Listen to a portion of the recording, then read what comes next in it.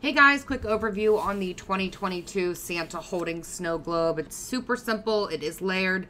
You're not going to have these layers. These are just my sample images that I'm uh, putting up on the site, but I just want to show you how many different styles. You can do singles, you can do newborns, you can do families.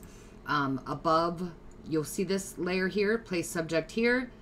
Um, that's beneath the glass and snow. So it's easiest if you take a picture of someone on fake snow or white, etc. And I'll show you why.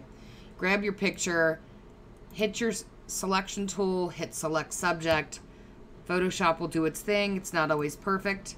It doesn't grab it all, you can always grab your plus and add to it by just brushing over the area. And then you'll hit your select and mask. My settings for select and mask, my feathers about be, usually between one and two. If yours does not look like this preview here, you can go up and hit the real-time refinement and then you can choose view overlay and then your color is whatever color you want. I choose red. So I go to feather between one and three, and then I'm gonna put my output to a new layer with layer mask down here. Then your refine edge tool, just go around and refine the edge. What this is doing is applying the settings from the right to your image. So it's refining the edge, it's feathering it, it's just perfecting it. I'm not too worried about this down here. Again, you'll see why when I say shoot them on white or um, fake snow or something to make your lives a little easier. And here's why.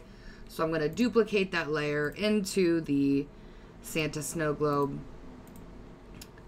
And then I'm going to pull it under the glass and snow layer, which means you've got the glass look already. See, you pull it, and the snow's there, the glass is there. I'm going to rotate mine so that the light shining on the baby is coming from the center here. And as you can see, you see that white there? How it was already part of it makes it easier to blend. Because now once you get in here, you can take your, if you've missed anything like this, you can take your black and just brush it off around the edge of the globe. And then you can take your white brush, you can lower the opacity, and then you can just brush in a little bit of that snow from the original picture to make it blend nicer. So then you have all of your shadows from your original and then you can, what I would do if you're using a white snow is add a selective color and clip it by clicking this here and match your whites to the white in the globe, which the white in the globe is a little bit warmer. So I'm going to add a little bit of yellow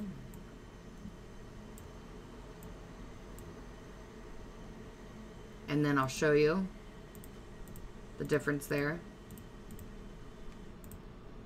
And then I'm just going to soften this right into the edge here because it's the foreground and it's that simple.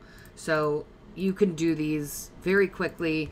These are um, this these any of the um, digitals are for your in-person photography sessions so you can have your you know advertise for your minis and or your digitals and um, snap a picture of your clients and then you know voila it doesn't take very long to put them in in this i have santa snow globes galore um, this is just this year's version i also have snowmen um, i have empty snow globes etc and again these are great for newborns family pictures siblings singles, etc.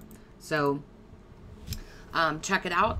Um, and if you're not a member of my educational group, I'll link it below.